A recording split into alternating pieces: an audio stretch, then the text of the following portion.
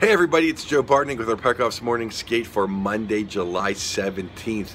J.G. Pageau signed a three-year deal in Ottawa, making 3.1 million. That is a steal for Ottawa. Three years with that guy, it's only on the upside, baby. Guy was great in the playoffs. I see big things from J.G. Pageau.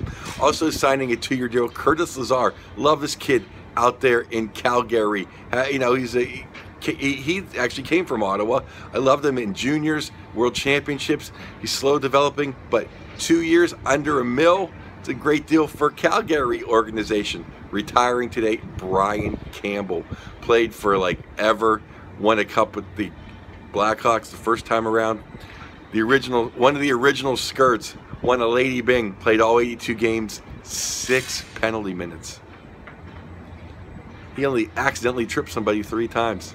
Well, I hope he knows how Stan Bowman likes his coffee, and Scotty Bowman for that matter. And you know what? Patrick Kane too. Bye bye.